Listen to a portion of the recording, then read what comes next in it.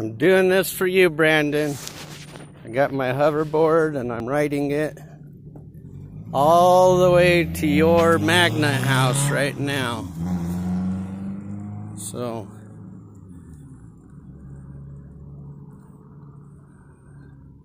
and then I'll be taking pictures of the house because Miguel's done.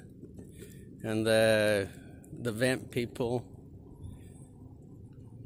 I guess if they're still there. But I don't know, I'm a little nervous for some reason on this hoverboard. I don't want to fall and get hurt. You know?